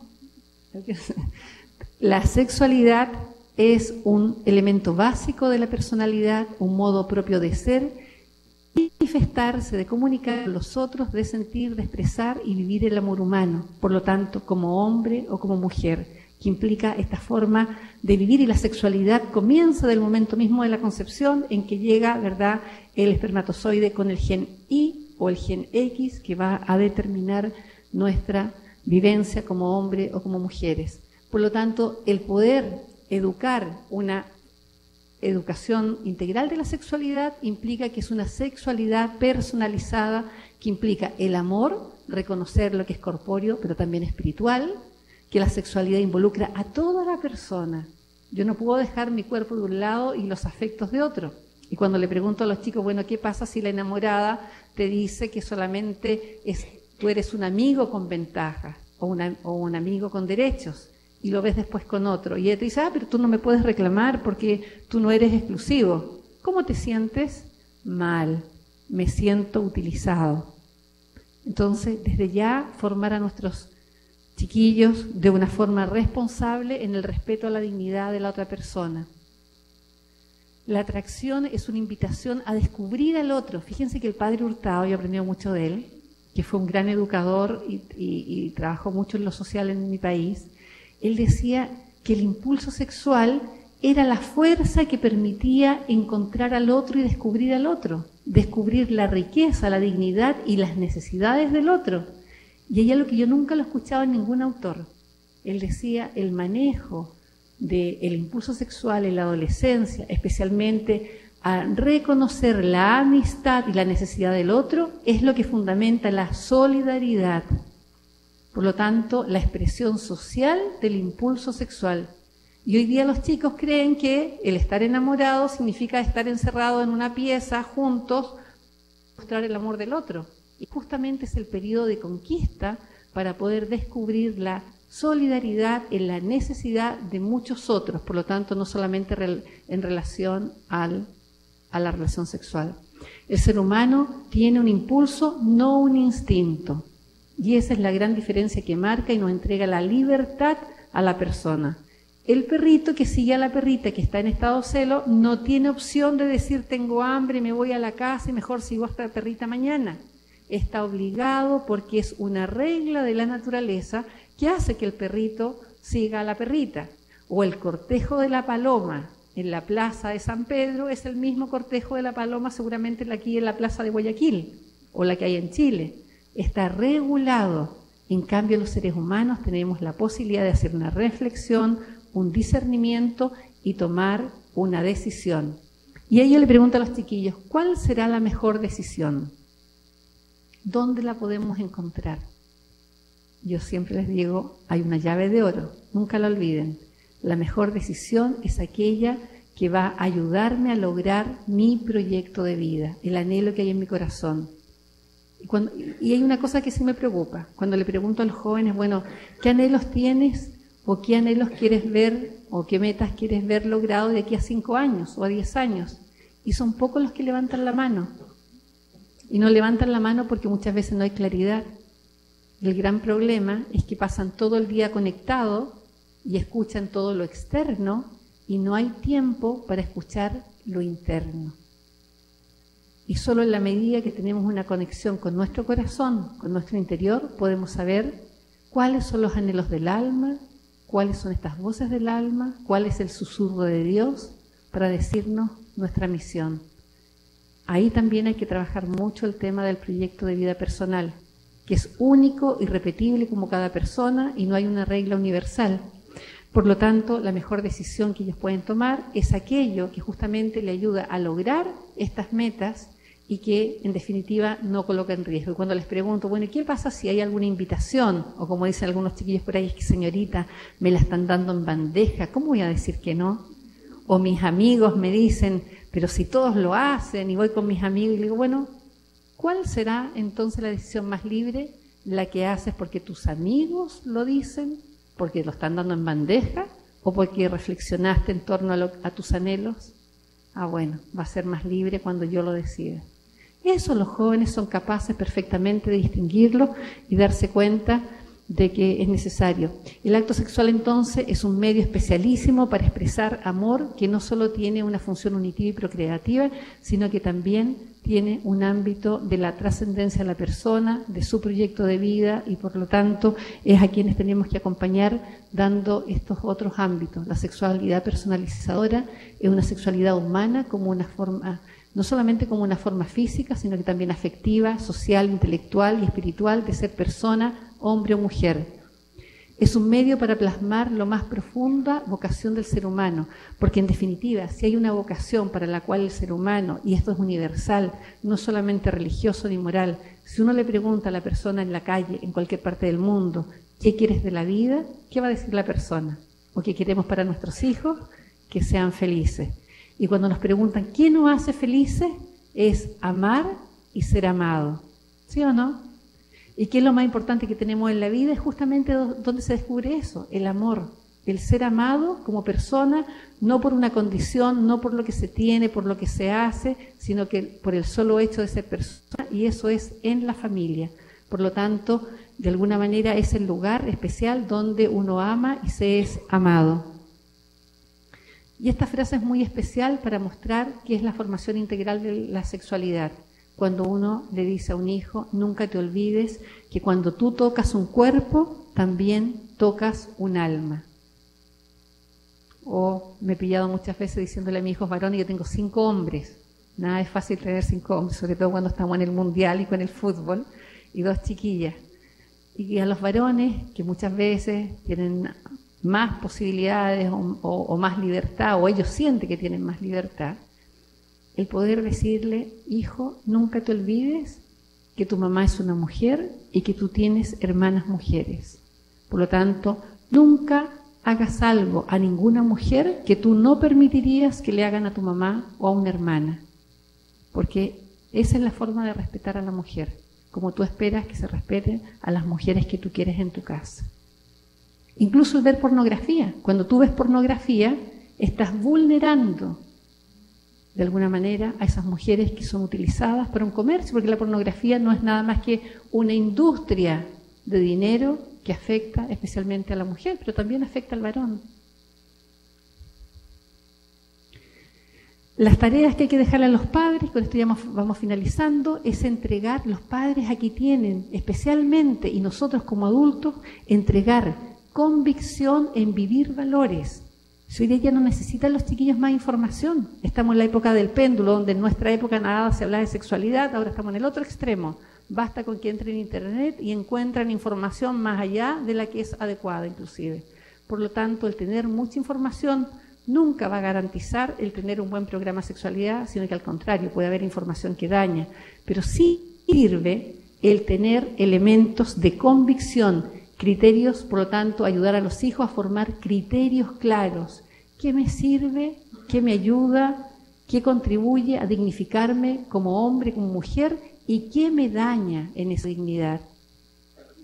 Los adolescentes que mantienen unos principios firmes de conducta personal y social corren menos riesgos de embarazo adolescente o de contraer el VIH-Sida o infección de transmisión sexual o el alcohol o la droga. Y fíjense que aquí hay un gran neurólogo norteamericano que es Robert Bloom, que ha contribuido mucho en la educación en términos de todo lo que es la neurociencia, es que él señala, si a mí me preguntan cuáles son los elementos de mayor protección, podríamos decirlo, en un estilo absolutamente distinto como hoy día se ocupa, es justamente decir claramente, hay un joven que va a tener menos riesgos de estos ámbitos cuando tiene un proyecto de vida claro y cuando hay un adulto significativo, en lo posible la familia, que sea quien confía en que este joven va a lograr ese proyecto de vida. Y aquí me refiero también como adulto significativo porque a veces nos encontramos, tal como les comentaba al comienzo, de que hay chiquillos, niños o niñas que tienen una realidad muy dolorosa en su familia o ausencia, o a veces no se habla estos valores o no son temas que se conversan en la familia. Por lo tanto, pero este niño anhela esos valores. ¿Saben en quiénes lo van a buscar? ¿O dónde lo van a mirar? Va a ser en los docentes, en los profesores, y esa profesora o ese profesor que es capaz de establecer un vínculo cercano, un encontrarse con un otro, no desde la autoridad, desde el docente, ¿ya? Que, que de alguna manera coloca reglas, sino que el otro, del tú a tú, que es capaz de decirle, donde te llamo por tu nombre, y este chiquillo va a ser capaz de salir adelante porque encontró un adulto frente a quien alguien lo reconoció como persona, lo validó y que cree en lo que él quiere hacer. Por eso también es muy importante el trabajo pastoral, el trabajo docente, de los adultos significativos que a veces pasamos a ser quienes eh, vamos acompañando a estos jóvenes. Por lo tanto, y aquí ya para finalizar, la decisión, lo más importante son decisiones intermedias, no hasta dónde puedo llegar, no más bien de dónde tengo que partir, que es mi proyecto de vida, mis anhelos, una buena autoestima, reforzar en los jóvenes el proyecto de vida en términos de los anhelos, el ideal personal y las personas significativas con los mensajes claros, tal como les había mencionarse. Nosotros como adultos tenemos que ocuparnos más que preocuparnos para lograr esto. Uy, eso salió hasta con sonido. Eso es por si acaso alguien está ¿verdad? Con un poco de sueño. Por lo tanto, un programa tiene que facilitar la formación integral de niños y jóvenes en relación a la sexualidad humana que le permita visualizar un proyecto de vida en un proceso gradual de crecimiento que compromete a la familia y a los educadores, formando, por lo tanto, también a estos apoderados y alumnos en la sexualidad. ¿Y para qué? Para lograr que haya adolescentes que puedan resistir la presión social que les induce a veces a comprometerse en actividades peligrosas jóvenes con la visión de un proyecto de vida personal en el que se incorpora la sexualidad. ¿Y por qué es tan importante? Porque va a ser la motivación para decir, no, no quiero hacer esto porque daño mi proyecto de vida. Jóvenes que reconocen las dimensiones de la sexualidad, el valor de la nueva vida, la responsabilidad frente a su fertilidad, esto es clave, como les dije, reconocer este gran poder de la fertilidad, también reconocer que sus actos tienen consecuencias y que hay infecciones de transmisión sexual, SIDA, o también la problemática del aborto que causa mucho daño también a la mujer o al hombre que buscan esa alternativa. ¿ya? reconocer que en este poder de la fertilidad comienza justamente de la época en que podemos engendrar un niño, que ese niño pasa a ser un hijo, y por lo tanto que ellos sean capaces de decir que asumen un compromiso con un proyecto de vida, con sus metas, para que lo vean, con una futura familia, con futuros hijos, con la responsabilidad y valoración de la sexualidad como hombre o mujer, la conciencia, eso es lo que tenemos que formar, la conciencia que una relación sexual siempre implica una responsabilidad de estar dispuesto a ser padre o madre y la mejor decisión no pone en riesgo los planes para mi futuro. Y por último, decirles que los jóvenes están ávidos de desafíos y metas altas. A veces los adultos no creemos en ellos y decimos, no, mejor le vamos a pedir menos. Están ávidos de sentirse personas capaces de manejar su propia vida, de ser dueños de ellos mismos, en definitiva, de ser capaces de amar y de ser amados. Muchas gracias. ¿Sí hay una pregunta? Sí, sí, muchas gracias. ¿Sí? Sí, bueno, en primer lugar, por felicitar la, eh, por tratar este tipo de temas. Pienso que hoy por hoy eh, nosotros debemos estar al tanto en, estos, en, estos temas, puesto que nosotros como padres de familia, como profesores, pienso que eh, es una herramienta eh, muy indispensable. Bien, eh, para hacer una pregunta para la doctora, em, ¿qué estrategias desde su experiencia recomendaría a los docentes a fin de que los padres puedan inducir, los padres de familia, a participar activamente en el campo de la educación sexual? ¿Sí? Eh, ¿Me escuchan? ¿Sí? ¿Sí? Bueno, uno de los aspectos que tal vez podría compartir es llevar ya desde el año 2003 específicamente, implementando un programa de sexualidad en 27 colegios, establecimientos de la comuna de Puente Alto, en la cual hemos realizado capacitación con equipos de profesores de manera de que ellos puedan acompañar a los apoderados con distintas metodologías según las edades. Para los más pequeños, con libros de apoyo que la llevan a su casa, de manera de poder incluso partir desde la tierna infancia contándole a los niños su propia historia, estando en el vientre materno, hablando de cómo estos papás se conocieron, hablando del desarrollo de la vida, cómo ellos han sido amados, y en el fondo entrando en la propia historia familiar, pero también llevando a estos docentes a poder eh, mirar desde una perspectiva valórica, integral, lo que es la formación de la sexualidad humana, también mirando especialmente, y aquí hay un detalle importante, la actitud con la cual yo hablo de la sexualidad. Si yo llevo la sexualidad de una perspectiva desde la perspectiva eh, epidemiológica como algo, como un mal, en definitiva lo que yo estoy haciendo es mirarlo como algo negativo. Tengo que llevar a estos docentes también y a los papás a mirar que la sexualidad es una riqueza y por lo tanto nos hacemos cargo de esa riqueza, pero no es fácil, ¿ah? es un tema que es un trabajo de años de formar monitores no solamente docentes, sino que también monitores que son parte eh, fundamental en equipos de trabajo en los establecimientos y también cautelar la perspectiva valórica integral, que lamentablemente a veces hay docentes que son más desesperanzados y creen que no es factible poder promover los valores. ¿Qué cosa lo digo con mucha alegría? Que es que después ya de varios años de trabajo, es la misma gente del área de salud que nos dicen, nosotros tenemos dentro de la población de Puente Alto, en una misma calle, liceos que pertenecen a nuestra dependencia como corporación municipal, que ha bajado la tasa de embarazo adolescente. Y los establecimientos cercanos, que no son de nuestra dependencia, donde no hay un programa de sexualidad, siguen en aumento el embarazo adolescente. Por lo tanto, se logran los objetivos de que las chiquillas y los chiquillos retrasen el inicio de la actividad sexual y puedan comprometerse con su dignidad de persona. Si involucramos aquí a los padres, son los mejores aliados. Eso como respuesta. Por cuestión de tiempo vamos a dar paso a las preguntas de Quito o de Guayaquil. Muchas gracias. Disculpe. Sí, gracias. Tenemos otra pregunta para la doctora. Eh, la pregunta es la siguiente. Frente a la realidad que enfrentamos, ¿qué podemos hacer para que los padres nos enamoremos de nuestra misión y no huyamos de ella? Bueno, tal vez un poco lo que ya había señalado. Eh, validar a los padres como primeros educadores en el sentido de que ellos sí se sientan capaces de que son los primeros expertos y eso va a depender de los profesionales, de los docentes, que de alguna manera le demuestren de que ellos son los primeros protagonistas dentro, de este ámbito. Cuando uno le pregunta a una mamá, a un papá, qué es lo que quiere para sus hijos, siempre va a decir lo mejor. Por lo tanto, al descubrir que es un programa de sexualidad integral que va con valores, estos padres son los primeros en apoyar. Y lo más importante, frente a cualquier pregunta que haya de un establecimiento, significa validar a estos padres y nosotros no solamente no ser teóricos, decir los padres son los primeros expertos y después los descalifico a través de otras minucias.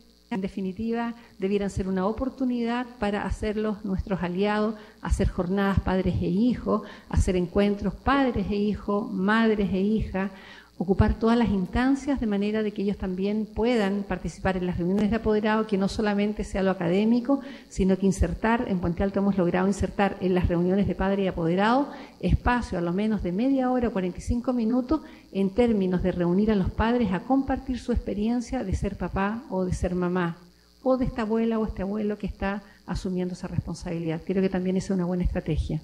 Bien. Muchas gracias y buenas noches a todas las personas, tanto de aquí como también de las otras ciudades.